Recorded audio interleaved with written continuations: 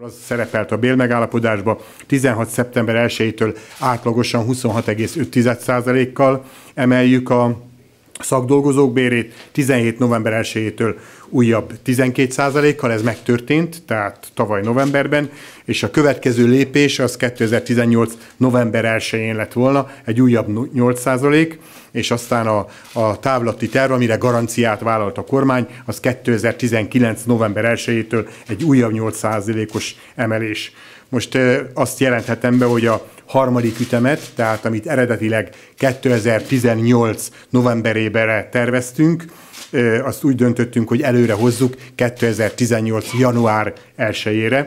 Ez több mint 80 ezer dolgozót érint, akik az eredetinél 10 hónappal korábban részesülnek az újabb 8%-os béremelésben.